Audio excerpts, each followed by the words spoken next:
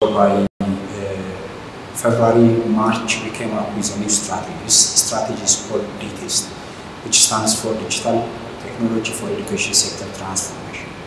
This, this is now taken as a standard uh, strategy for transforming the education sector in terms of federation, in terms of usage of digital technologies. And this uh, strategy has six pillars. The first pillar is use of technology to, for online assessment. Online assessment is not only exam, but also from very from pre-primary up to 12th grade students, we have to be able to use technology to assess the intellect, the skill, the, the level of uh, understanding of our students. Pillar number two is meant to improve the quality of teachers' education online. In this country, we have more than 700,000 uh, teachers. And in our new strategy, the capacity of our teachers should be improved from time to time. In terms of education and also in terms of uh, certification and uh, assessment requirements. So uh, that means that all 700,000 teachers will be on some level of uh, short-term or mid-term or long-term training. And uh, physically, it's impossible to bring all these teachers into universities and colleges. So we, we, we are process of leveraging technologies so that our teachers, wherever they are, wherever they live, be able to have this online education, online short-term, long-term, uh, education and also online assessment. That's number two. Pillar number three is all about data analytics. So with 26, 27 million students, 700,000 teachers and uh, 46,000 schools. So the way we are uh, capturing data, collecting data and anal making analytics of our data is still very traditional.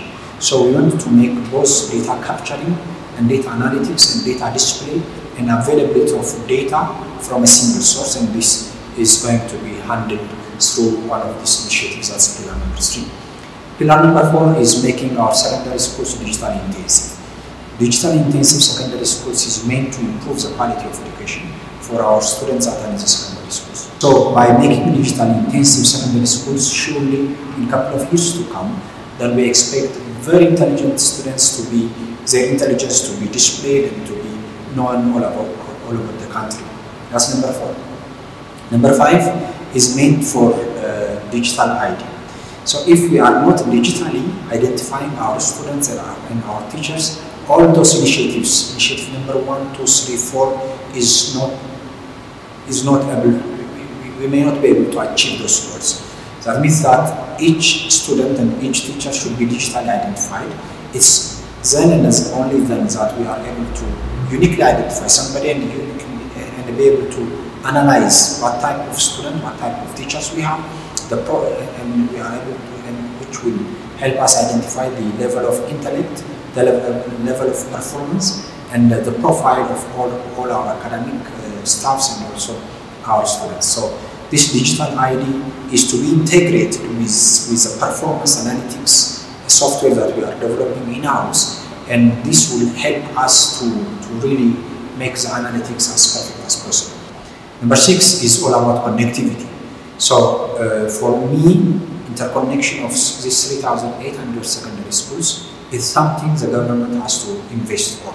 So internet connectivity is like this. If we interconnect 3,800 secondary school, it shouldn't be commercialized. It shouldn't be driven by uh, telecom commercialization and, and something similar. It should be freely available. Our students and our teachers should be able to access, access contents, be able to, the teacher's education and the student's education should be online driven. So the internet connectivity should be either fully free or highly subsidized by government. So with other stakeholders like Minister of Health, Minister of Innovation, Minister of Agriculture, also we are working, also with, with World Bank as well, and the Minister of Finance, we are working on the possibility of interconnecting all our secondary schools with a very high broadband connectivity of a minimum of 300 megabits per second.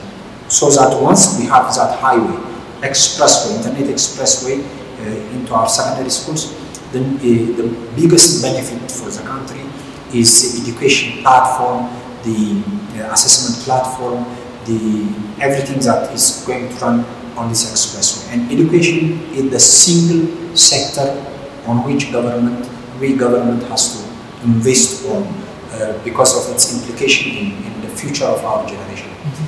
uh, if uh, the education quality deteriorates or if, education quality is not improved, then it, it, implies it has a direct connection into whether it's the health sector or the agriculture sector or the construction infrastructure sector or all sectors, even political and social and economic activities would be improved or not. So education, the single sector that determines uh, how we want to shape this great country of ours.